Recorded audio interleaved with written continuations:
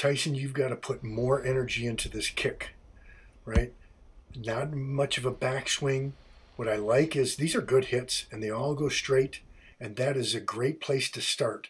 Now, instead of doing that little hop skip, give me a jab and one, two, and now look at your energy moving back. I want you to keep walking to the post. Let's get some real energy going towards this ball.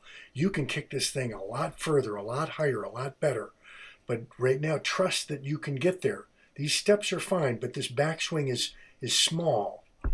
You need more flexibility, and instead of that plant just stopping right there, I want you to skip right on through the target. Your energy has stopped. You should still be following this ball.